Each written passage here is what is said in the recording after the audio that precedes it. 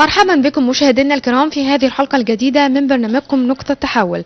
في هذا اللقاء مشاهدينا الكرام سوف نتحدث عن علم الكيمياء أصول هذا العلم وأيضا أهم الفروع والأقسام المختلفة الخاصة بعلم الكيمياء وكيفية استخدام تطبيقات هذا العلم لخدمة المجتمع. معنا ومعكم مشاهدينا الكرام للحديث في هذا الموضوع الأستاذ الدكتور جلال نوار رئيس شعبة بحوث الصناعات الكيميائية بالمركز القومي للبحوث. رحب بك يا فندم. أهلا وسهلا.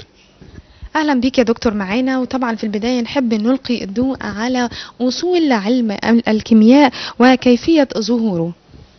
علم الكيمياء ظهر آه، مع بداية حضارة الإنسان آه، من بداية عصر الفراعنة.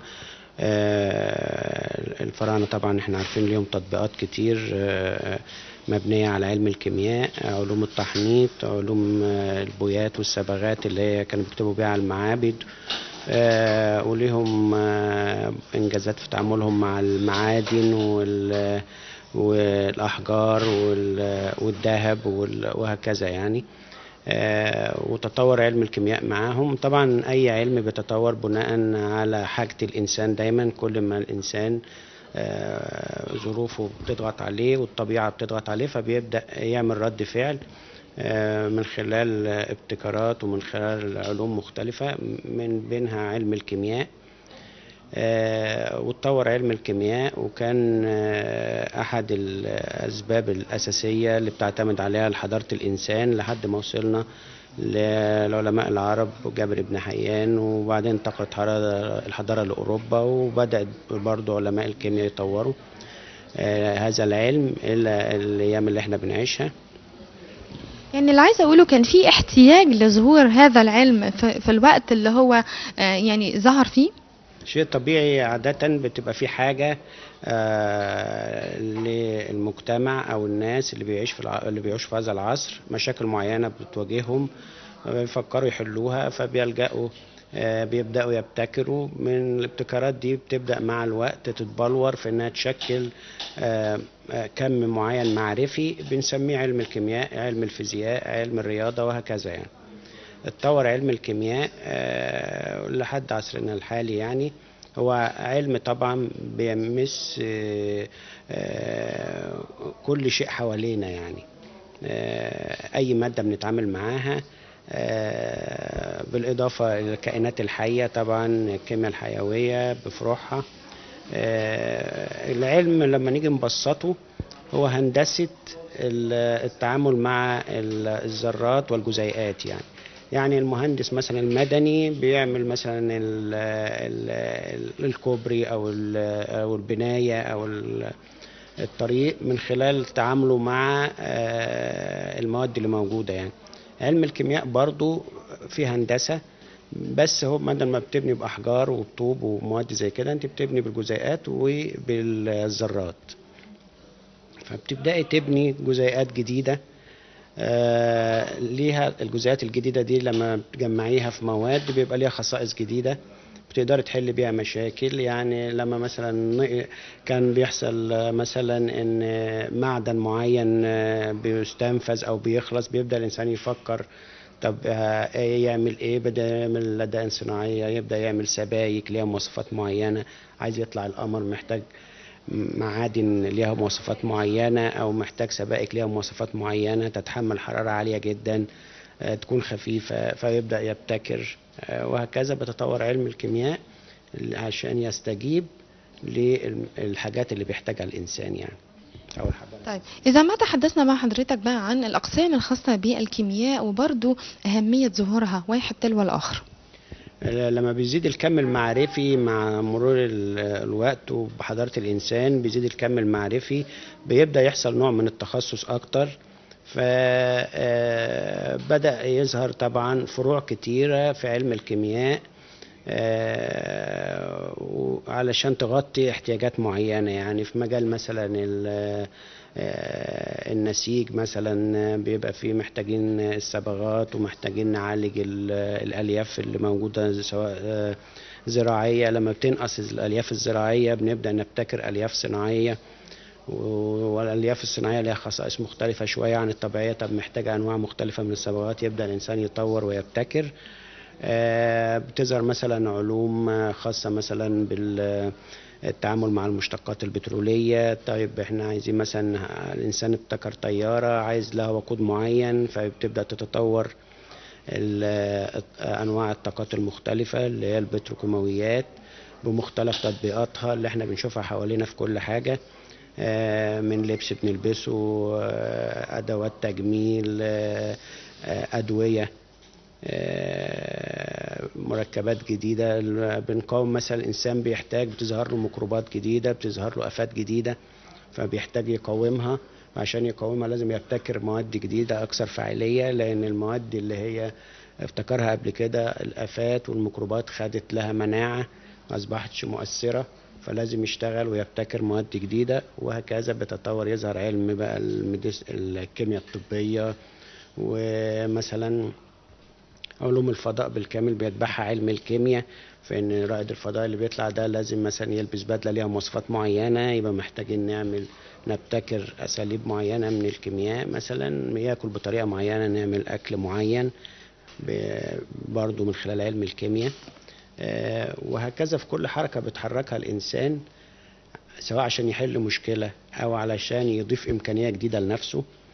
آه، أو عشان يكون يدافع عن نفسه في علوم الأسلحة. طبعا الكيمياء علم الكيمياء بقى من آه، القنبلة الذرية والقنبلة الهيدروجينية وكل ده مبني على أسس علم الكيمياء. إزاي في النهاية تبص حواليكي أي مادة حواليك تقدري تحوليها لمادة أخرى أو تحل بيها مشكلة. بنيجي هنا في بلدنا مثلا بيبقى عندنا مشاكل آه، بعض المخلفات آه، ضغط علينا مثلا كمثال قش الرز مثلا. قش الرز ده مواد أو مادة أو مجموعة من ال- مادة بتتكون من كذا مركب يعني وبتستغل استغلال سيء جدا بان إحنا بنحرقها لأن ما عندناش مش قادرين نطبق آه، ال- ال- ال- يعني علم الكيمياء عليها بالشكل ال- الجيد لما بنبدأ نطبق والعلم ياخد آه، يعني يستلم المشكلة بيبدأ يخلصها وبيحولها من آه، حاجة إحنا بنعاني منها لإضافة ومصدر دخل خدت بال حضرتك؟ فكمثال برضو نقرب للمشاهد انت النهارده من خلال قش الرز بتقدر تعملي لب ورق لب الورق تقدري تعملي آه، آه، بعض الخلاصات المفيدة وبيبقى قش الرز ده خامة مفيدة بتباع وتشترى في السوق ومحدش بيحرقها لأنه بتكسبه فلوس فبنبدأ نحول الشيء السيء لشيء جيد بعلم الكيمياء قديما يعني كيف استفاد المصري القديم من علم الكيمياء؟ إزاي وظفه فعلا لخدمة الحياة والبيئة من حوله؟ آه، طبعا المصريين القدماء عملوا حضارة. الحضارة دي كانت أحد ال- الأسس بتاعتها أو الدعائم بتاعتها هي علم الكيمياء. آه، زي ما قلت لك تمثل في قدرتهم على معالجة بعض الأمراض آه، من خلال علم الكيمياء قدرتهم على تحنيط ال- الموتى وقدرتهم على أنهم يعملوا أنواع من الصبغات و- وأنواع من و- وتطوروا آه، بحيث إنهم آه، سادوا يعني العالم بحضارتهم. ولحد النهارده ال- بنقرا في حضارتهم حاجات كتير يعني مبنية على علم الكيمياء والعلوم الأخرى طبعا. دكتور هل علم الكيمياء بيخدم آه، بعض العلوم الأخرى؟ أو بنقول بي يعني بيتم توظيفه لخدمة بعض العلوم الأخرى؟ العلوم آه، كلها آه، حلقة واحدة بالظبط زي المحيطات والبحار والأنهار يعني. هي بتبقى شبكة لازم بيبقى في يعني زي ما البحر بي بيصب في في محيط أو النهر بيصب في بحر. دورة دورة من الدورات الحياتية يعني دورة من دورات الحياة يعني. فالعلوم والمعارف كلها بتلتقي في نقط وبتعتمد على بعضها وبعدين في لما بتيجي تعمل أي إنجاز بتحتاج لكل العلوم مع بعض يعني. بتحتاج إنك تستخدمها ما تقدريش تقول أنا من خلال علم الكيمياء بس. هقدر أعمل مثلا القنبلة الذرية؟ لا ده أنت في القنبلة الذرية بتستخدمي علم الكيمياء وبتستخدمي الطبيعة وبتستخدمي الرياضة وبتستخدمي الهندسة بتستخدمي كتير قوي من العلوم عشان تقدري تخلقي كيان يعني يؤدي مهمة معينة. فالعلوم طبعا آه، أو بتشكل المعرفة ومن خلال المعرفة بتقدري تعملي تحلي مشكلتك يعني. يمكن حضرتك من شوية أشرت إلى أن علم الكيمياء ممكن من خلاله نكتشف آه، أو نتوصل إلى اكتشافات كثيرة جدا زي مثلا علاج لبعض الأمراض. يعني ممكن أن إحنا نصنع بعض المنتجات أو المواد الدوائية اللي بيها آه، نعالج بعض الأمراض. عايزة أتكلم عن الجزئية دي إزاي أن ممكن من خلال هذا العلم فعلا نخدم البشرية ونتوصل في الوقت الحالي إلى اكتشافات مهمة جدا؟ ما هو أنت آه، آه، تقريبا قطاع آه، الدواء والأدوية الجديدة وكل ال- الإنجاز ده مبني أساسا على علم الكيمياء كلمة مركب بتعني إن أنت مركب جديد بتعني إن أنت إما بت سواء هو مكتشف أو إن أنت بتبتكريه أو بتخلقيه من بعض. الوحدات البنائية اللي عندك ففي فروع في علم الكيمياء اللي هي الكيمياء التخليقية إن أنت بتاخدي بعض الجزيئات آه، وبهندسة الكيمياء.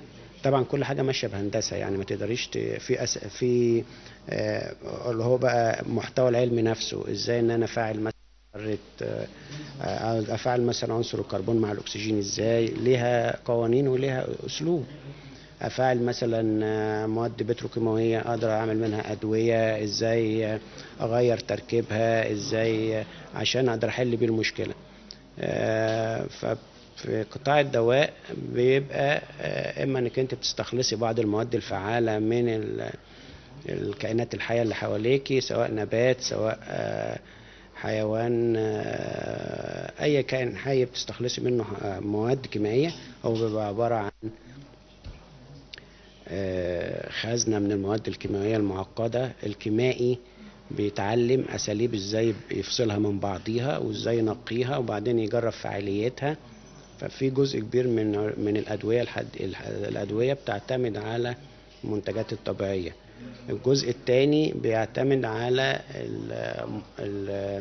علوم ال- التشييد الكيميائي. إن أنا ببني مركب جديد من خلال إن أنا بستخدم بعض العناصر وبعض الجزيئات اللي موجودة حواليا ببدأ أطلع مركب جديد مش معروف قبل كده وبعدين بالوسائل بقى سواء. وسائل فيزيائية جايب مقدمها علم الطبيعة لعلم الكيمياء بقدر أتعرف على التركيب بتاعي الجديد ده وبعدين بروح للجماعه علم البيولوجي بيجربوا لي المواد بتاعتي دي على الحشرات أو على أو, أو على الميكروبات ويقولوا لي آه والله التركيب اللي أنت عامله ده أو التشييد اللي أنت عامله ده بيموت الفيروس الفلاني أو بيموت الميكروب الفلاني.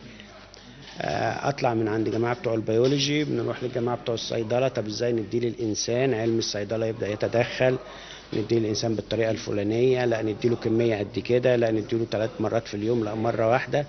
وهكذا تلاقي سلسلة من المعارف والعلوم المختلفة عشان توصلي في النهاية لحل للمشكله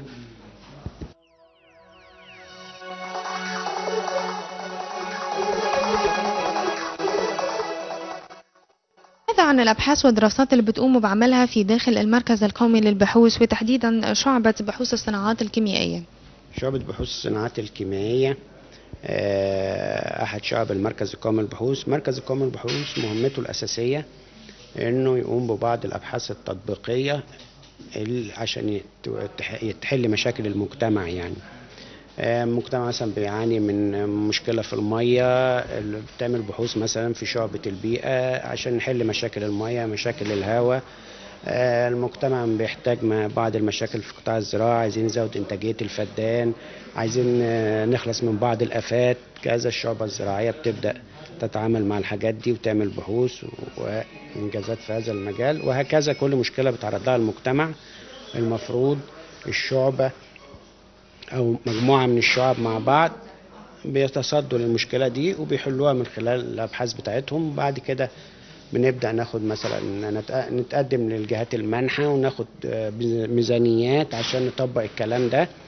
وبعدين لما بنطبقه بيخرج للنور بتحول لبراءات اختراع وبيبقى معدل إنه أي مستثمر أو حكومة تيجي لما تعرض لمشكلة معينة تيجي تقول والله أنا عايزة حلول فبتبقى من خلال براءات أو مشاريع وبتبدأ نتعامل مع آه، طبعا في الفترة اللي بيبقى فيه دكتور يعني هذه الأبحاث أو العمل على مستوى هذه الأبحاث بيكون فردي ولا جماعي؟ بما إن حضرتك بتقول في النهاية بيتحول إلى مشروع وبراءة اختراع. عايز أعرف بدايته بتكون آه، فريق من الباحثين بيبدأ فعلا آه، بشكل يعني في نوع من آه، ال- ال- الجد والاجتهاد العمل على إتمام هذا البحث ولا بيكون عادة هو شخص واحد؟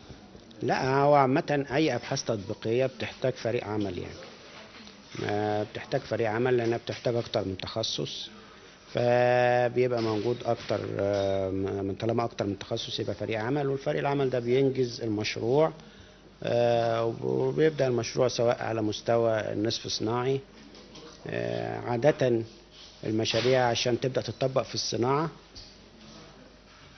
مشاريع عشان تبدأ تطبق في الصناعة لازم الأول بتتعمل على مستوى النصف صناعي يعني. وبعد ما تتم على مستوى النصف الصناعي ويظبط جدواها وإمكانية تطبيقها بتبقى متاحة للناس اللي بتطبق سواء قطاع خاص أو الحكومة يعني. إيه طبيعة التحديات أو الصعوبات اللي بتواجهكم في أثناء العمل في داخل المركز القومي للبحوث وتحديدا شعب الكيم- الكيمياء هو طبعا آه، الصعوبات اللي هي طبعا في صعوبات حياتية م- اللي منعكسة مشاكل المجتمع منعكسة على الباحث. شيء طبيعي يعني بحكم إنه عايش في المجتمع ده يعني. آه، لكن عامة هو الباحث أساسا آه، المفروض إن هو بيبقى موجود عشان يحل المشاكل يعني. فالمفروض إن هم ال- إن هو باستمرار بيقدر يقدم حلول واساليب للمشاكل اللي بتحصل دي يعني. بيكون عندكم كل الأجهزة اللي بتمكنكم أو تؤهل هؤلاء الباحثين من العمل على إتمام هذه المشروعات البحثية أو هذه الأبحاث؟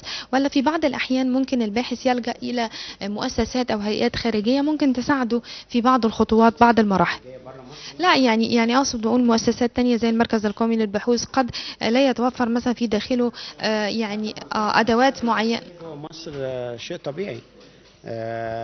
طبعا كل المؤسسات البحثية جوه مصر آه، بتتعاون آه، آه، بشكل أو بآخر آه، كلنا بنعتمد على بعض يعني لأن ما فيش مكان بيبقى فيه كل حاجة يعني شيء طبيعي وفي العالم كله كده مش إحنا بس. إن أنا مثلا بيبقى في جهاز معين ممكن زميل آه، محتاج جهاز معين بيبقى موجود مثلا في البحوث المعايرة في معهد الفلزات في البحوث البنى. آه، في مركز البحوث الزراعية بيروحوا الزملاء وفي زملاء بيجوا من هناك ده عم- شيء طبيعي يعني. كل المراكز البحثيه بتتعاون مع بعضيها الباحثين آه، بيتحركوا جواها يعني وبيحلوا مشاكلهم يعني. لو رجعت واتكلمت مع حضرتك عن فروع يعني أو أقسام الكيمياء يعني معروف منها العضوية والغير العضوية والتحليلية وغيره عايزة أقول الأقسام دي كلها بتخدم بعضها ولا كلا يعمل بشكل منفصل تماما؟ في العلوم آه، شكل منفصل. ال- المعرفة دي زي ما قلت لك زي البحار والمحيطات كله متصل ببعضه كله بيعتمد على بعضه عشان في النهاية تقدري آه، آه، يحصل حياة يعني أو إنجاز يعني. فالمعارف كلها متصلة ببعضيها. اجتماعية آه كله يعني محيط معرفي واحد. لما بتزيد المعارف كتير بيحصل نوع من بنحتاج لنوع من التخصص أو لما بتزيد المشاكل تعقيدا بنحتاج لنوع من التخصص. فالكيمياء بيبقى مش بس كيمياء عضوية وكيمياء غير عضوية لا الكيمياء العضوية نفسها بتبقى عدد من البحور والأنهار يعني. فبيبقى فيه مثلا علم البوليمرات ده علم بيختص بان من الكيمياء العضوية يعني. أنت بتيجي بقى ناس تتخصص في مثلا البلاستيك والمطاط و علم البوليمرات ببساطة إن أنت بتعملي جزيئات كبيرة قوي من وحدات بنائية متماثلة ومتكررة. آه، فبتقدري تحصلي على خصائص فيزيائية مختلفة. تديكي إتاحية مثلا ممكن بقى تعملي مثلا اكسدام العربية بدل ما كنت بتعمليه معدن زمان وحديد تقدري تعمليه آه تقدري تعمليه من لدان البلاستيك آه، تقدري مثلا آه، آه، تعملي مثلا أنواع من البويات آه، ممكن لما تدهني بيها مثلا السفن والحاجات دي ما تصديش في البحر خدت بالك؟ فبيبقى في تخصص البوليمرات تزيد المعارف مثلا محتاجة أدوية أو مركبات معينة يبقى في medicinal chemistry أو الكيمياء الطبية مثلا مبيدات الآفات محتاجة كيماويات يعني مركبات معينة عشان تقاوم آفات معينة يظهر كيمياء المبيدات. وتبدأ بقى الكيمياء العضوية دي تتفرع لفروع عديدة يعني. طيب دكتور يعني أكتر مشروع بحثي أو بحث أنتوا عملتوه في داخل الشعبة وح- وحضرتك يعني كنت فخور بيه أو حسيت إن هو قدم نتائج مذهلة يعني استطعنا من خلاله فعلا إن إحنا نتوصل إلى اكتشاف أو ابتكار معين كان له يعني صدى كبير؟ وإحنا في الفترة اللي هي ال- السنتين اللي فاتوا دول يعني كان بدأت منظومة البحث العلمي تمشي خطوة جيدة لقدام بأن يبقى في صندوق العلوم والتكنولوجيا عنده ميزانيات جيدة فبيبدأ على أساس تنافسي يدي ميزانيات للمشاريع العلمية. الب- الباحثين بيقدموا مشاريعهم وبيتم تحكيمها وبيختاروا الأفضل وبيدوا ميزانية ينفذ المشروع ده. وبعدين برضو كان في جهات منحة تانية. في دلوقتي مؤسسات بت- بتبذل مجهود كويس في إنها آه، تمول البحوث اللي هي القومية. في مؤسسة مصر الخير بتدي ميزانيات جيدة. في الأكاديمية البحث العلمي في الاتحاد الأوروبي. فكل دول بيبقى على أسس تنافسية بتقدم لهم آه، المشروع بتاعك وهم بيحكموه وزمايلك بيقدموا بعدين بيختاروا بعض المشاريع ويمولوها. الشعب عندي عندي أنا يعني آه، في الفترة الأخيرة دي قدرت يعني تدخل تكسب مشاريع جيدة ميزانيات جيدة تتعدى 3 مليون جنيه و4 مليون جنيه ده يعتبر ميزانية جيدة. آه، الشعبة ده قدرت تدخل ما يقرب من 15 أو 20 مليون جنيه في من المشاريع البحثية. آه وبدأ مشروعات تطبيقية في دلوقتي آه، بنعمل وحدة تجريبية على المستوى الصناعي لتلبيب قش الرز نطلع منه لب الورق. ودي بتتنفذ آه في مزرعة المركز وإن شاء الله يعني على آخر السنة هنبدأ إن دي كلها تكنولوجيا مصري تعمل بالطاقة الشمسية وهتبدأ آه كله محلي. وإحنا بنستورد لب ورق كتير فدي هتحل مشكلة قش الرز وفي نفس الوقت توفر لب الورق. وهيطلع خامة تانية برضو جيدة للصناعة. والوحدة دي معمولة بأجهزتها بال... بكل التكوين بتاعها على أساس تس- تبقى وحدة نموذجية وتسوق للمستثمر بعد كده اللي عايز يعمل مصنع يشتغل بقش الرز ويطلع منه لب الورق هيجي يقول لنا والله أنا عايز وحدة زي دي بالظبط ترنكي فاحنا ننفذها له. دكتور يعني ال- الكم المصروف على مثل هذه المشروعات هل يضاهي يعني العائد المتوقع منها؟ يعني لو قلنا آه، إحنا بننتج وفي نفس الوقت يعني في آه، مصروفات بتصرف على مثل هذه الأجهزة والأدوات. هل فعلا إحنا متوقعينه أو الكم يعني ال- العائد علينا هيكون أكبر من يعني تلك المصروف؟ لا طبعا دايما أكثر يعني أفضل طرق الاستثمار إنك تستثمري معرفة علمية أو بحث علمي في إنك ت- تعملي منتج جديد أو تعملي ده ده أساسا المحرك الأساسي بتاع كل الحضارات يعني. أنت آه، آه، يعني أنت من خلال ال- العلوم والمعارف بتقدري تحولي التراب لذهب. فطبعا حجم يعني آه، أكبر آه، استثمار ممكن تحققه أكبر عائد ممكن تحققيه تحققيه من خلال التطبيق العلمي لفكرة يعني. طيب دكتور حضرتك حدثتنا عن مشروع جميل جدا والحقيقة زي ما قلت دلوقتي إن هو آه، يعني بدأ بالفعل تطبيقه والعمل عليه. عايزة أقول المنتج ده ممكن يسوق في داخل مصر وننجح في تسويقه. عايزة أتكلم عن البعد ده برضو لأن مهم قوي بعد ما ببذل مجهود وأصل إلى منتج يعني أود إن أنا أسوقه علشان يبقى فيه استفادة أو قاعدة كبيرة من الاستفادة. طبعا المنتج بيسوق آه، داخل مصر. وطبعا إحنا عملنا التعاقدات على المنتج قبل ما نخلص الوحدة لأن السوق مبني يعني في حاجة إلى هذا. آه، عادة مطلوب من الباحث إنه برضو أو يعني من الحكمة إنك أنت تعملي بعض التطبيقات أو بعض المنتجات اللي أنت بتستورديها اللي أنت بتحتاجيها بكميات كبيرة اللي السوق محتاجها قوي عشان تقدر تسوقها بسهولة يعني. على الأقل في البدايات. وإحنا طبعا كمجتمع آه، برضو لازلنا في البدايات من ناحية التطبيقات العلمية خاصة إن بيعدي علينا فترات آه، زي الفترة اللي فاتت كده كان برضو ال- يعني ال- آه، العلوم والباحثين ما هماش آه، مش يعني واخدين دورهم آه، بالكامل يعني. ونتمنى في المستقبل إن الأمور دي تتحسن كتير يعني. ما ينقص يعني الباحثين والعلماء في داخل المركز القومي للبحوث من وجهة نظرك؟ هو دايما بيبقى المشكلة الأساسية أو ال- اللي بتعوق انطلاق الباحثين أو بتخلي معدل أو المعدل اللي بيتحركوا بيه أبطأ هي أساسا بتبقى مشكلة سياسية بتبقى مشاكل سياسية أساسا.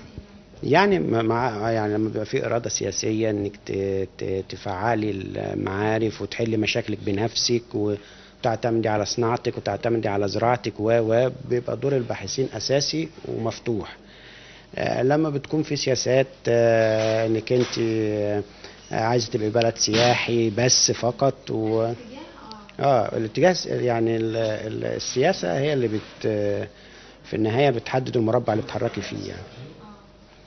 لكن أقصد أقول في داخل المركز عندكم هنا هل في يعني آه، أدوات محتاجينها؟ هل في إمكانيات معينة بتنقصكم محتاجين إن أنتوا تجيبوها علشان ننهض أكتر بهذا العلم وهذا الفكر؟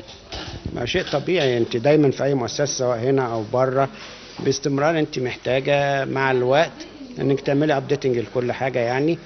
لكن آه ما هياش دي المشكلة المعوقة الملحة يعني المش... المشاكل المعوقة الفعلية هو التوجهات السياسية يعني. دكتور لسه علم الكيمياء ممكن نستفيد منه أكتر بس في السنوات القادمة؟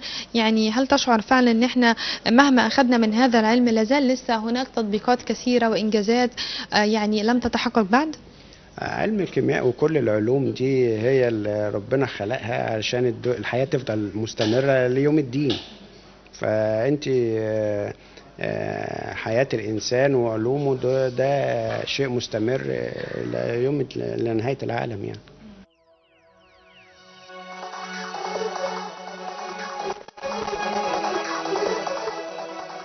ونسعد مشاهدينا الكرام أن نلتقي مع الدكتور مجدي النشار أستاذ مساعد بشعبة آه، بحوث الصناعات الكيميائية بالمركز القومي للبحوث. شرفنا بلقائك يا فندم شرفت بيك يا فندم. دكتور مجدي يمكن إحنا اتكلمنا عن أصول علم الكيمياء وعرفنا إن هو بيرجع إلى الفراعنة واتكلمنا عن تطبيقاته آه، في العهد القديم. إزاي استفاد المصري القديم من آه، أصول علم الكيمياء؟ عايزة أتكلم مع حضرتك دلوقتي في حياتنا آه، اليومية. إزاي ممكن نستفيد من تطبيقات علم الكيمياء؟ وطبعا أنا الدكتور جاد نوار أستاذنا يعني شعبتي. اتكلم على أصول علم الكيمياء وتاريخها وده شيء عظيم جدا. أحب بس أستكمل ما قال يعني وبعض التطبيقات. علم الكيمياء عامة بشكل عام في حسب معلوماتي وما أفهم فيه هو أساس علوم كثيرة جدا. يعني بعد علم الكيمياء كان في البداية بدات تنبثق منه علوم كثيرة على سبيل- المثال ال biochemistry اللي أنا اتخصصت فيه بعدين. الجميل في العلوم عامة إن هي كانت زمان كل علم منفصل بذاته. أما الآن بقى في أقسام مد- دمج مع بعضها. فبتلاقي الإنسان دلوقتي عندك chemistry و biology عملوا biochemistry عندك ال physics وال biology biophysics عندك ال geology وال physics geophysics فتحس إن ال- العلوم ما بقاش حاجة واحدة. ما بقاش في واحد نظام زمان أنا متخصص في علم واحد فقط ولا أعرف غيره. فده شيء جميل جدا بيساعد إن هو إنسان فاهم أكتر من التخصص فيقدر في ال applications بتاعته التطبيقات بتاعته يقدر يعمل أشياء كان قبل كده كانش حد يعرف يفكر فيها لأن هو ما عندوش ال basic science أو العلوم الأساسية في المجالين دولت أو أكتر من مجال. آه يمكن برنامجكم اسمه نقطة تحول وأنا يمكن آه أشيد بيه ويعني وأتمنى إن هو يستمر آه وينتشر أكتر. يا رب يكون نقطة تحول في مصر لأن اهتمامكم بالبحث العلمي هو ده سبب نجاح مصر. إن شاء الله متفائل خير. مصر لو اهتمت بالبحث العلمي وركزت الضوء على العلماء وعلى البحث العلمي لأن العالم ومعظمنا كمان بالأخص في المراكز البحثية ما عندوش فرصة توصيل المعلومة زي الجامعات. يعني الجامعات عنده طلبة وعنده يعني معروف والنون هناك في وسط الجامعة ده دكتور فلان. أما أنت هنا لو خبطتي في أي واحد وأنت ماشية ده هتلاقي دكتور. فإحنا كتير جدا جدا فبالتالي ما فيش عندنا تسليط وما فيش عندنا آه، يعني ال audience بتوعنا أو ال- الناس اللي هي ممكن نوصل لهم معلومة عددهم جدا محدود. آه، نقطة تحول بالنسبة لي أنا كمان كانت جميلة قوي إن بدأت بدايتي ك chemistry من جامعة القاهرة 94 آه، وبعدين تمهيدي 95 في ال organic chemistry في 98 خدت الماجستير في ال polymers وده تطبيقاته رائعة رائعة رائعة يعني نتكلم عن تطبيقات. ال polymers هي عبارة عن polymers اللي هي عديد المير الاود unit يعني متعدد الوحدات. آه، بتوصل ساعات بالمئات الآلاف وال من units سبيل التطبيقات أبسط حاجة آه، مايك زي دوت فيه plastics ده polymers جلد زي دوت اللي أنا قاعد عليه ده polymers حتى الملابس اللي أنا لابسها والحاجات اللي لابسها ده polymers الورق اللي إحنا هنتكلم فيه دلوقتي أو الكتاب اللي هو اللي قدامنا دوت ده polymers الاحبار نفسها اللي كاتب بيها ده polymers فتشوفي قد إيه كام كام applications وبس في حاجة واحدة بس وده يعتبر جزء من جزء. ده polymers في حاجة اسمها biopolymers اللي هي الإنزيمات أو بروتينات. جزء تاني بعلمه ممكن تلاقي واحد في ال polymers ما يعرفش قوي في ال biopolymers كل واحد متخصص في حاجة معينه متخصص في حاجة. نقطة التحول عندي آه، كانت جميلة قوي إن خلصت chemistry وخلصت ماجستير بعدين ربنا كرمني طلعت أمريكا عشان أعمل هندسة كيماوية في أمريكا هناك في نورث كارولاينا آه، خدت هناك semester وبس بسبب إن في خلافات حصلت في حتة مده الاقامه بتاعتي إنها طالع معايا ماجستير هناك قالوا لي لأ خد تاني ماجستير من جديد. فكنت طالع بس maximum خمس سنين. الدكتور بتاعي قال لي انت عشان تخلص ماجستير دكتوراه وانت شاطر كده لما شاف جبت الحمد لله جبت A's في أول امتحانات قال لي انت ممكن ست سنين ونص تخلص ماجستير دكتوراه والبعثه خمس سنوات اضطريت أروح فين؟ اسيب خالص الهندسة وارجع تاني لإيه؟ لل science فرحت بريطانيا وخدت في ال biochemistry فبدأ عندي biochemistry وأنا في الأصل polymers أو chemistry دي نقطة تحول في حياتي خلتني أقدر أفهم مجالين علميين وأقدر أعمل تطبيقات بستفاد فيها بالمعلومات اللي عندي والخبرات اللي عندي في المجالين دولت وده بفضل الله اداني آه، هقول لك إيه، يعني ميزة ونقطة تحول في حياتي اني بجد ما بقتش ال- الحمد لله ببص لل- لل- لل polymers زي الأول. ببص له ك polymers وببص له ك biopolymers في نفس الوقت.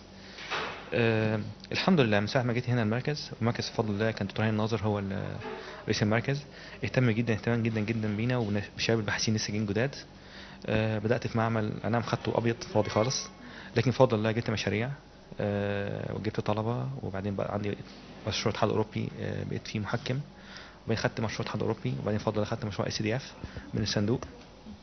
طيب حضرتك يعني متعدد في السفريات ورحت أمريكا وبعدين كمان إنجلترا.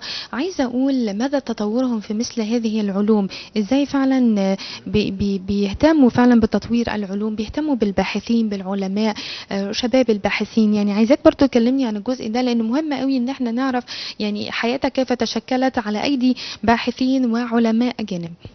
والله سؤال جميل جدا. واقول لك إن هم لا بيهتموا جدا جدا جدا بيه. اولا الدكتور مثلا هناك أنا كنت جامعة جامعة ليدز في بريطانيا. الدكتور اللي هو يعتبر اللي هو ده أنا حولت عليه مخصوص من أمريكا ده عنده خمسة patents patents هناك بتعني شيء كبير قوي. للأسف في مصر هنا مش بنفس القوة. ويا رب إن شاء الله تبقى مستوى يرتقي أكتر من كده. آه إن شاء الله. دي حاجة. الراجل ده هو راجل شغال في الجامعة. كان ليا زملائي آه، بيعملوا دكتوراه. already هم بيعملوا دكتوراه تبع مشروع. يعني شركة بتجيلهم تقول لهم أنا عندي مشكلة فلانية وأنتم متخصصين في المجال دوت. من فضلكم ه- أنتوا عايزين إيه؟ عايزينكم تساعدونا نحل المشكلة ديت. طب okay. آه، إحنا طلباتكم إيه؟ قولوا مثلا عايزين جهاز فلاني.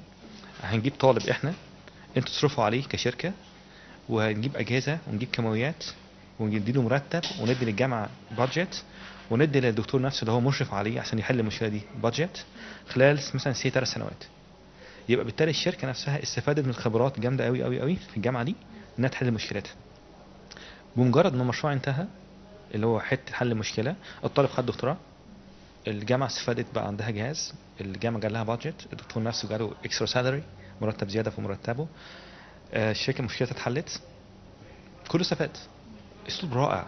مش just بعمل نقطة في في- السماء كده جت في بالي مشكلة بتاع أفكر فيها. أجيب لها تمويل منين؟ الله أعلم. أخد تمويل المركز تمويل البلد تمويل أي شيء عشان أحل مشكلة. الله أعلم. هي أصلا مش موجودة أو أنا مش عارف أو أنا بت ممكن بتوقعها أو هي موجودة بالفعل بس مش عارف. أنا ما عنديش مصنع عشان أطبقها عليه أو كده. فتحسي هناك لا هناك كل ماني بتحط في مكانه الصحيح. ده شيء. النقطة التانية اللي عليها جميلة جدا حتة اهتموا إزاي بشباب الباحثين. ده شيء أنا لمسته برضه. قبل ما أخلص الدكتوراه بتاعي كان اتعمل كومبيتيشن على اللي عنده أفكار ابتكارية وبدأوا يجمعونا يا جماعة اللي عنده شيء ابتكاري يطلع بيه. ورحت competition زي كده واستفدت منها جامد جدا جدا جدا. نفعتني إن جه بعد كده عملوا competition تانية قالوا يا جماعة في ثلاث مدن ليدز وشيفيلد ويورك. هنشوف هندي 30 مشروع للثلاث مدن دولت. يخش competition من دكاترة على مستوى الثلاث مدن دولت. اللي هيقدر يقنعنا إن هو هيقدر يعمل حاجة business صغير مشروع صغير يتطبق فكره كويسة وعنده patent أو هيعمل patent يقدم فيه. أفادني قوي إن أنا كنت في ال competition ديت أنا قاعد في لجنة تخيل مثلا اللجنه دي فيها مين بقى؟ أنا راجل ك science كل اللي معظمنا هنا يعرف ال science إيه. إن أنا في المعمل وأعرف شغلي في المعمل بس وفعلا كده. لا هناك مش كده. هناك أنا قاعد. في واحد متخصص science في مجالي كويس قوي. وفي عندك واحد متخصص في ال patent يعني براءة الاختراع يقول لي المجال ده ينفع patent ولا ما ينفعش؟ عشان لو يعمل مصنع ليه يبقى بالتالي هو محمي ولا مش محمي. في واحد قاعد businessman هو اللي هيمول الموضوع ده. المفروض إن هو هيقول المجال ده يصرف ياخد قد إيه في money وهجيب قد إيه مكسب. يصرف قد إيه ياخد قد إيه. المفروض أنا قاعد وسط هذه ال combination من ال... كل واحد ليه mentality كل واحد ليه أسلوب لغة معين. هي ربع ساعة. أنا المفروض أقنع فيها الثلاثه دولت. لو أقنعتهم أخد المشروع. أنا كنت خامس واحد يتقدم والتاني واحد يتقبل. الأولاني اتقبل التاني والتالت والرابع سقطوا وفضل إن أنا نجحت فده علمتني إزاي إن أنا أعرف أخاطب كل واحد بلغته زي ما بيقولوا. اخاطب الناس قدر عقولهم وفي نفس الوقت يبقى أنا عنديش عندي منتاليتي مختلفة في العرض. إزاي بعرف أكلم كل واحد بالحاجة اللي هو تجذبه؟ وفي نفس الوقت التاني ما يحسش إن هو قاعد كده مش يعني متضرر من القعدة. لا الكلام كله يعني يفيدهم كلهم يحس إن هو كلهم ساتيسفايد بالموضوع ده. خدت الحمد لله المشروع ده. كان 30000 استرليني كانت ساعتها السنين كان عالي قوي. كان بالظبط 72000 دولار في السنة. تخيلي واحد لسه مخلص دكتوراه وبيقول اتفضل 72000 دولار اعمل بيها شغل. ففي اهتمام جامد جدا جدا بالبحث العلمي وده كان ممكن ده كنواه ممكن تعمل مصنع بعد كده لما جيت مصر هنا أفادني قوي قوي الموضوع دوت آه، إن الحمد لله خدت جائزه من أمريكا على أول مشروع الحمد لله كنت عملته هو مشروع الاتحاد الأوروبي على إنتاج ال antibiotics في انزيم اسمه penicillin acylase ده بينتج آه، 6 APA هي دي الأساس في إنتاج حاجات سهلة قوي هشرحها لمعظم الناس. amoxicillin ampicillin الحاجات اللي إحنا عارفين ampicillin وال amoxicillin والكلام اللي إحنا عارفينه ال antibiotics ده النواه اللي بتنتج 65% من معظم المضادات الحيوية على مستوى العالم. فلما أنا بكلم حد بقول له 65% من مستوى العالم طبعا الموضوع مهم جدا. فعليه ضمان عالي أو عليه طلب عالي. مش just إني بعمل research مهم لا ده research وفي كمان ليك customers في ناس آه هتشتريه في ناس عايزاه ناس محتاجاه. ده بيدي ضمان ده عالي ده بيخلي ال businessman يفكر فيه آه لا الموضوع ده مهم قوي أنا لو مولته أنا هكسب من ورا كتير قوي ده الحمد لله خدت فيه جام... آه، من جامعة تكساس خدت فيه جايزة. كانت في مصر بالظبط هم جم هنا عملوا competition تقدم 350 مشروع. صفصفوهم لغاية في الآخر فضل خدوا أربع أحسن أربع مشاريع على مستوى مصر. أنا فضل كنت واحد منهم. خبره أمريكا فادتني جامد جدا. بريطانيا sorry فادتني جامد جدا في إن أقدر اخد هذه الجائزة لأن كان نفس الموضوع قاعد برضو قدام نفس اللجنة نفس ال consortium اللي كان قاعد دوت نفس الفكر والكلام معاه. ده أحد مشاريع. ساعتها للأسف يعني جه بعد كده شركة أدوية كبيرة كانت مستعدة إنها تكمل في المجال ده ومرة واحدة قال أنا ماشي بس مشغول شوية عشان مقدم في مجلس الشورى وسياسة والموضوع مات بعد كده. آه، ما توقفتش عن قد كده والحمد لله عندي شغل كويس جدا فيه وعندي فيه patent وبراءة اختراع بفضل الله مصرية مقبولة ووزارة الصحة مقبولة. بالإضافة إن كمان هنا دكتور هاني الناظر لما عرف أهمية الموضوع ده آه، وافق إن هو يمول لي مشروع نحوله كمان patent أمريكية. وبالفعل دفعنا في البداية. يعني يكون في نوع من الدعم الأمريكي لهذا المشروع والإتمام خطواته بس يكون في داخل مصر. هو ال patent بيعمل إيه؟ ال patent لما أنا عملت patent مصري يبقى أنا أقدر أحمي منتجة مصر بس. لو المنتج ده حد عمله the same في أي دولة تانية بره مصر من حقه إن هو يعمله. لو أنا سجلته في أمريكا يبقى أنا بالتالي حميته جوه أمريكا، يبقى لا يمكن حد في أمريكا يقدر يعمله غيري. يعني هو ده ميزة إن أنا بحميه في الدولة اللي أنا بحميه. لو أنا حميته في في اليابان يبقى اليابان بس حماية. yes بس. لو حميته اتحاد أوروبي يبقى كل اتحاد أوروبي أقدر. بس طبعا كل واحدة من دي ليها فلوس مبلغ محترم يعني في أمريكا إحنا اخترناها كدولة قوية جدا. دولة عندها استعداد إنها ممكن تنتجه هناك وتعرف تبيعه كويس. فكان هو ده اختيار أمريكا بناء على ذلك. جه بعد كده طبعا هاني النظر ساب ال- الرئاسه جه دكتور أشرف شعلان. بفضل الله برضه استمر في هذا الأمر. والحمد لله برضه إحنا في خلال ال- يعني خلال إن شاء الله وقت رب إن شاء الله يسهل شهور إن شاء الله نكون جبنا البيتنت النهائية. آه، وربنا يمكن ممكن نعمل حاجة. وأتمنى طبعا أعملها في مصر قبل ما أعملها في أمريكا. آه، لأن دي بلدنا وأنا اتعلمت فيها ونفسي إن أنا يبقى عندي منتج. وبعد الثورة فرصة فرصة كويسة جدا جدا يبقى عندنا منتج بتاعنا. ده أحد الأشياء. في فضل دكتور عايزة أتكلم ما بعد يعني هذه السفريات والنجاح فيها وإتمامك لهذه الدراسات يعني أو الدرجات العلمية الماجستير والدكتوراه ما هي الأبحاث الجديدة اللي قدمتها في داخل مصر في تخصص الكيمياء؟ يعني برضو نحب إن إحنا ناخد فكرة عنها وأهم النتائج. أحد ال أحد ال- النتائج أو ال applications قلنا مثلا هو antibiotics ده كان أحد النتائج. آه، في حاجات تانية الحمد لله عملناها. أكتر حاجتين ممكن تهم أي بلد إيه؟ الطعام والغذاء والإيه؟ والدواء. فإحنا قلنا خلاص الدواء antibiotics 65% من الإنتاج العالمي. فده لوحده يعني كفاية قوي إن هو يعتبر يحل معظم مشاكل ال- الدواء. طب الجانب التاني كان إيه؟ إن إحنا قلنا الغذاء. الغذاء وال pollution التلوث في نفس الوقت حاولنا ربطناهم مع بعض في حاجة ظريفة قوي وكان مشروع جميل جدا تقدمنا فيه للصندوق الابتكار ال STDF في آه، معظم ال يعني استغرب قلت الكلمة ديت سب- 75% من سكان العالم بيعانوا من حاجة اسمها lactose intolerance في سكر اسمه لاكتوز ده موجود في الألبان. في ناس كتير جدا شربت لبن يجي لها إسهال يجي لها انتفاخات يجي لها الام في البطن. دي يمكن بسبب السكر ده. وبالذات في الأطفال. تلاقي مثلا طفل مش قادر ياخد لبن من أمه خالص وبالتالي يجيبوا لبن من بره يشربه من بره. طب قال لك السكر ده حله إيه؟ قال لك ملوش حل. ملوش حل خالص. مفيش علاج لل lactose intolerance نهائيا. طيب طب يا جماعة نعمل إيه؟ الناس دي محتاجة لبن أو محتاجة dairy products اللي هي منتجات الألبان زي الجبن والزبادي وال- وال ice creams أنت عارف حاجات كتير جدا جدا جدا يعني. طب بالتالي كده الناس دي كده اتحرمت من كل الحاجات دي؟ وفيها كالسيوم عالي فيها probiotics عالية في فقال لك الحل إيه؟ هو ربنا خلقهم الإنزيم ده عندنا موجود في الطبيعة عندنا. لكن في مش هقول لك يعني آه، دول أجناس معينة الإنزيم ده شبه مش موجود أو ضعيف جدا. فبالتالي كفاءته تكونوا كده. آه، يمكن في أوروبا وكده عندهم الإنزيم القوي ما شاء الله. معظم المشاكل دي في أفريقيا. وفي أمريكا برضو اللي هي African American. وفي دول كتير. فتلاقي نسبة نسبة عالية. يعني 70 75% الإنزيم ده عندهم شبه مش شغال أو ضعيف. فقال لك إيه؟ طب خلاص إحنا نعمل حاجة ظريفة جدا. آه نديهم pills حبة ياخدوها فيها الإنزيم يعني تساعد شوية. قال لك ال pills دي برضو غالية وفي نفس الوقت بتنزل هنا ال stomach دي اللي فيها حموضة عالية بتكسر أي دواء بينزل يعني بتكسره فبتضيع القيمة بتاعته. فبالتالي مبقاش كويس. قال لي خلاص نشوف حل تاني. قال لي خلاص نجيب اللبن عادي ونحط عليه الإنزيم ده إحنا من بره. نصنعه ونحط عليه. فالإنزيم يكسر اللبن اللاكتوز ده يكسره لمين؟ لجلوكوز. الجلوكوز سهل الهضم. وكده يدي للناس قال لك ماشي. بس هو مكلف. والإنزيم آه ما بحط هو سائل واللبن طبعا سائل. فالإنزيم بيخش يكسر عامل زي مقص يقطع كده ال- اللاكتوز يحوله لجلوكوز آه وخلاص. وبالتالي ممكن أشربه. بس الإنزيم ده لازم أموته. ما ينفعش أديه لحد وهو عايش. فبالتالي يبقوا مغلين اللبن أو غالين الحاجة جامد. ممكن هو بيغلي اللبن ممكن ال- اللبن نفسه كفا يعني جودته نفسها تتغير. لو في تانك كبير جدا مثلا قد الأوضة ديت في مصنع بيكلف حرارة وبيكلف وقت. فقال لك الأظرف من كده وكده نعمل إيه؟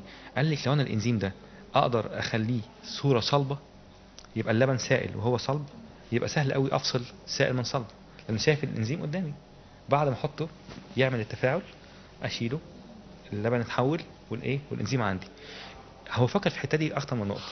حتة آه، حتة إن هو مش عايز يكلف تسخين وممكن يعني المنتج نفسه يتأثر. والميزة الثانية مهمة قوي إيه؟ أنا قلت الإنزيم ده عامل زي المقص. هل المقص لما بقش قماشه أو ورقة بيحصل له حاجة؟ هو ده نفس الموضوع. الإنزيم نفس الموضوع. الإنزيم عنده قدرة إن هو يشتغل أكتر من مرة. فأنا هاخد الإنزيم في الشكل الصلب ده أغسله أحطه في لبن تاني فيه لاكتوز يكسره. أو يقصه whatever يعني. الله يفتح عليكي. أقدر أعمل التجربة دي كم مرة؟ 10 20 100 مرة. يبقى الإنزيم ده غالي جدا. شوفي كنت أول مرة بحطه مرة واحدة بس وبخسره. لو مثلا سي مثلا في تانك كبير 1000 جنيه الإنزيم ده. يبقى أحط فوق تكلفة اللبن 1000 جنيه. ده وأنا حو- حولته بالمنظر ده شكل صلب واكتف ونشط واستخدمته 10 مرات. يبقى إيه؟ التكلفة إيه؟ قلت كام؟ من 100% ل 10% يبقى أحط بالظبط فوق تكلفة اللبن 100 جنيه بس. لو عملته 100 مرة يبقى 10 جنيه. فتحس إن هو يعني الموضوع ده عالي جدا. ده يمكن أساس الشغل بتاعي. ده اسمه biopolymers واخترت ال biopolymers ليه؟ دلوقتي ده أكل وشرب. أنا عايز الناس اللي تاخده ما يحصلهاش مشاكل. لازم يكون حاجة الجسم يقبلها وحاجة مش ضاره بالصحه ده اللي خدت عليه في وزارة الصحة. وفي patent وفضل الله الأمريكان نفسهم قالوا إحنا بقى 30 سنة في الموضوع ده ما حدش عارف يعمله. ودي بشهادة منهم عندي document بذلك يعني اتفضل يعني استطعت إن أنت تقدم حل أو بديل لكانت م... يعني لمشكلة كانت فعلا يعني واقعة وهم احتاروا فيها كتير يعني. الحمد لله الحمد لله. والموضوع ما وقفش عند كده. فكرنا قلنا طيب دلوقتي إحنا جبنا اللبن ده وكسرناه والناس بتشربه الحمد لله كويس قوي طيب إحنا عايزين برضو جوده اقتصادية أعلى وأعلى. فكرنا في إيه بقى؟ شرش اللبن ده بيمثل يعني أقول لك مشكلة اقتصادية رهيبة جدا ومشكلة بيئية. شرش اللبن ده نسبة كبيرة جدا جدا من اللبن في بالذات مثلا في الجبن وكلام من ده بيبقى جزء عبارة عن فيه لاكتوز بنسبه مش قليلة وساعات حاجة اسمها بيوصل لغاية 80% فيه لاكتوز. بيعملوا إيه؟ مش عارفين يعملوا بيه أي حاجة يعني هو بالنسبة لهم ويست يعني عايزين يرموه. بيرموه في المصارف الصحية وبيرموه في ال- في البحار وكلام من ده فهو كمنه فيه حموضة عالية بيموت الأسماك. الثروه السمكية بتموت كمان. يعني بالتالي أنا لوثت البيئه وخسرت شرش اللبن. ففكرنا فكرة ظريفة جدا. فكرنا فكرة والله يعني آه، وكان معايا الدكتور أحمد الدواني ربنا يبارك له آه، أنا برضه أشهد له هو أستاذ معانا هنا. كان في الفكرة في الفكرة دي نفسها هو كان معايا فيها. بس برضه حق يقال هو ما شاء الله عليه. و وفي بيني وبين في طالب مشترك آه، في هذه النقطة يعني. الفكرة الجميلة في الموضوع إيه؟ دلوقتي شرش اللبن ده فيه لاكتوز. طب ما أنا بالتالي ممكن اللاكتوز ده أحط عليه الإنزيم اللي هو اللي بيكسره اللي إيه؟ الجلوكوز يبقى أخسر حلاوة. طيب. قلنا كمان لو أنا عملته على permeate أو على لاكتوز زي ما هو وات هو لاكتوز لوحده بقى جلوكوز طعمه أحلى وكده ما بقاش آه، ممكن يتشرب يتحط في في مشروبات في العصائر ويتحط في المشروبات الغازية يعني يبقى فيه فوائد منه. طب الفكرة الأحلى وأحلى من كده كمان قلنا طب ما إحنا ممكن نحول الجلوكوز ده لسكر أشد حلاوة اسمه فركتوز. يمكن مرضى السكر لو قلت كلمة فركتوز يعرف قوي يعني إيه فركتوز ليه؟ مرضى السكر ينصحوا لو حب ياخد سكر ياخد مين؟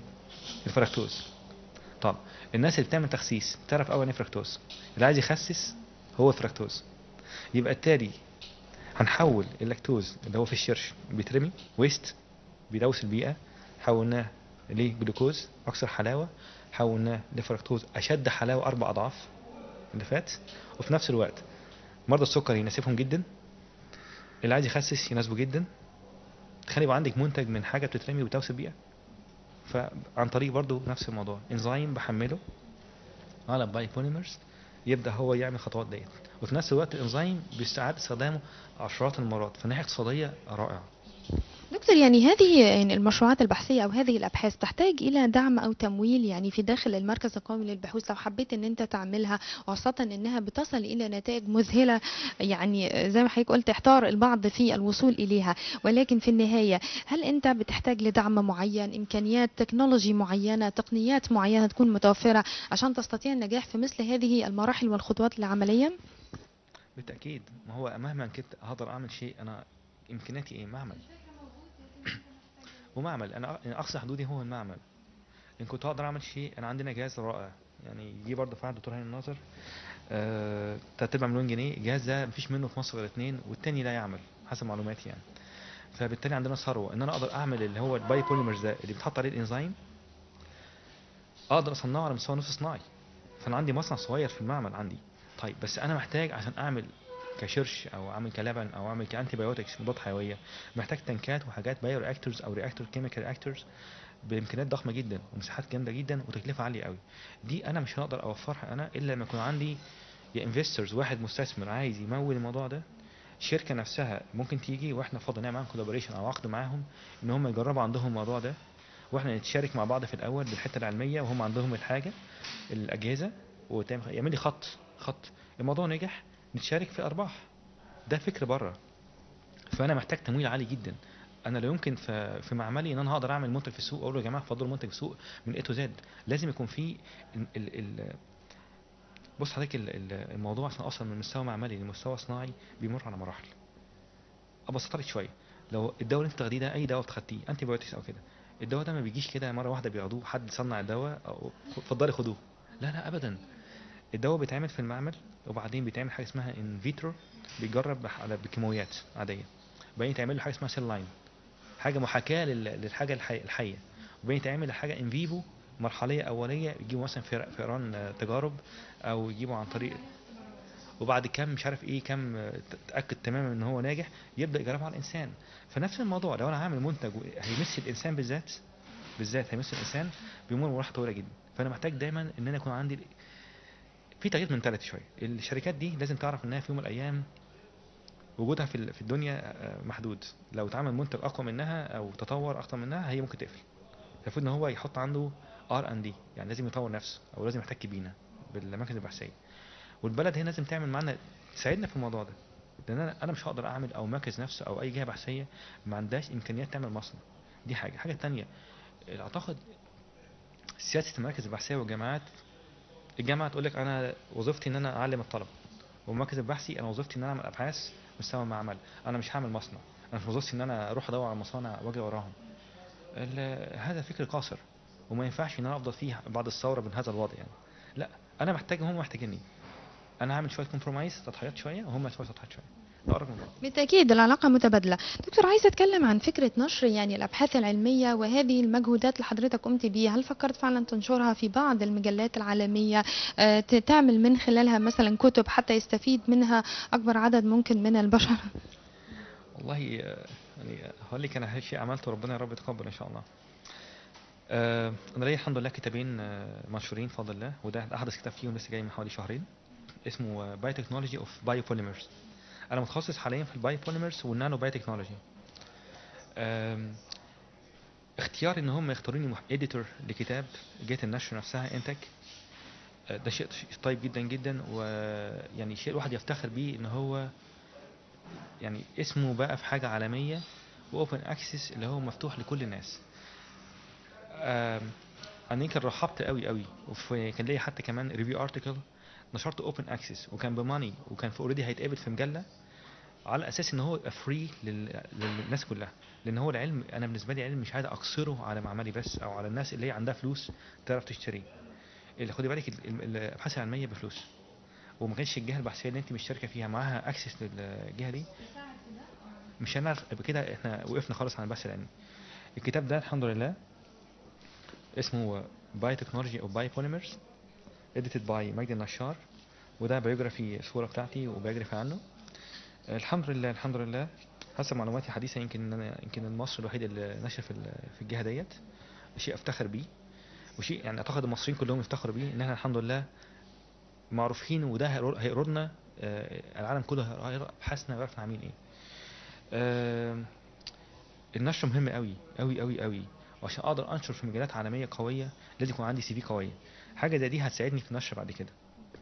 طيب اسمح لي أسألك عن فكرة آه، يعني دخول أو ارتباط ال biotechnology بال biopolymers يعني عايز أعرف هنا يعني ال- ال- المجال ال biotechnology إزاي بيخدم المجال ده؟ ال biotechnology أعم كتير قوي من من ال biopolymers يعني ال biopolymers حتة منه. آه يعني microbiology و... يعني هو الكتاب ده لو بصيت عليه هتلاقي عنده آه، تخصصات آه، كبيره جدا. حتى في منهم حاجة اسمها modeling اللي هو بيعمل design ممكن واحد mathematician واحد رياضي نشر في الكتاب ده. واحد chemistry نشر في الكتاب ده. واحد هندسة نشر في الكتاب ده. آه، دول نشر فيه أمريكا عندك روسيا عندك بريطانيا عندك مصر عندك آه، الحمد أنا نشر فيه. آه، دول كتير جدا فيه. ال- خلاص ما بقتش زي ما قلت من شوية في البداية العلم بقى مفتوح. كله بينشر فيه والشاطر اللي بيعرف يربط أكتر من تخصص مع بعض في مجال واحد.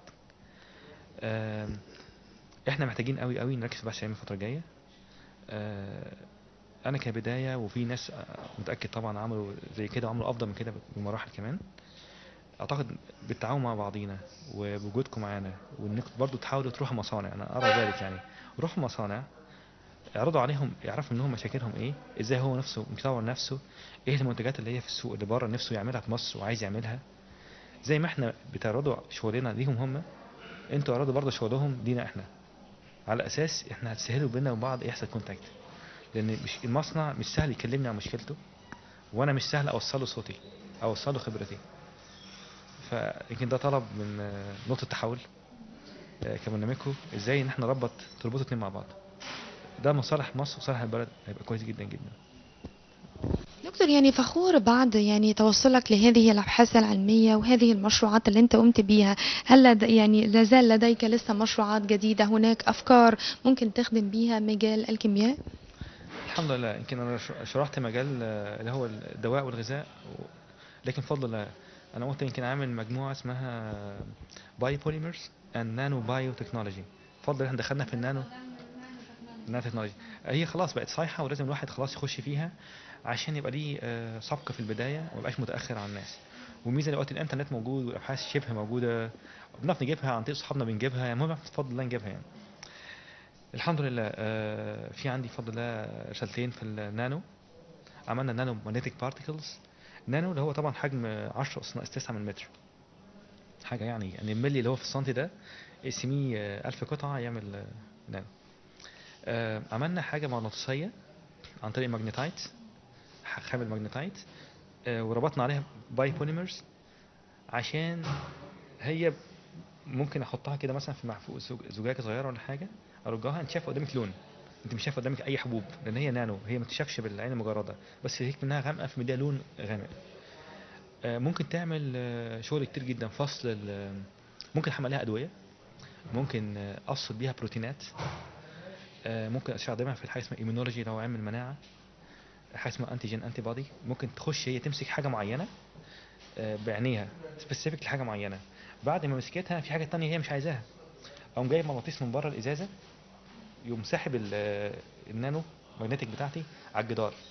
الحاجات التانية مش تجري معاها لأن هي مش ماسكة في ال في الميتا في ال nano magnetic particles اتفصل. أقوم رامي كل الباقيين اللي موجود عندي على ده أقوم حاطه في محلول مية وأقوم فاصل منه المادة اللي أنا عايزها. ده علم حديث قوي آه، وبفضل الله يعني ربنا يكرمنا نعمل فيه شغل كويس. ال- البحث العلمي عامة عمره ما توقف عند نقطة معينة، الباحث دايما شغال وعايز يعمل أحدث، بس في نقطة أقول لك عليها برضه مهمة. أتمنى واحد ما وصلهاش أبدا يا رب ولا أنا ولا غيري يعني، الإحباط. ما أنت مش قادرة توصلي مثلا لنقطة كويسة وتوصلي لحاجة كويسة جدا جدا. وت- طبعا تاخدي إشادة وهنعمل لك مصنع وتيجي في الإعلام وتيجي في التلفزيون كتير جدا. طبعا طبعا سنين طويلة أنت بتحلمي تعملي حاجة وفضل توصلي لها وبعدين تلاقي في الآخر الموضوع خلاص تبدأي تخشي بحث علمي جديد وخط جديد تقعدي كام سنة وتت... وأنت والطلبة اللي معاكي وت- وتسعوا وزملائك طبعا من الدكاترة وبعد سنين طويلة تفاجئي برضه تاني الموضوع. نايم. بعد كم مرة من يعني كم مشروع بهذا الوضع بتعرفي إن آخرتك إيه؟ الموضوع هيموت. طب أنا أخش ليه بقى في حاجة جديدة؟ ما خليني زي ما أنا الناس ماشية. الحمد لله الشعور ده يعني بفضل الله مش موجود. بس أخشى إن هو ما يجيش في يوم من الأيام. فأتمنى إن يحصل لينك كويس بيننا وبين الصناعه لا جميل والله. أنا سعيدة جدا ب يعني إطلالة طيبة فعلا على الارتباط ما بين الكيمياء وما بين آه، تطبيقاتها يعني ال- العملية والعلمية المختلفة. آه، وسعيدة إن فعلا في بعض الباحثين زي حضرتك كده بيهتموا ب آه، يعني وجود نوع من التطبيقات لأن دي في النهاية هتفيد البشرية وهتعود على المجتمع. بأكمله بشكرك يا فندم. أنا سعيد جدا جدا وجودكم معانا وأنا متشكر جدا جدا ليكم إن شاء الله. شاكر قوي مشاهدينا الكرام حتى نلتقي مع حضراتكم في حلقات جديدة وحوارات جديدة. نشكر لكم حسن المتابعة وإلى لقاء جديد.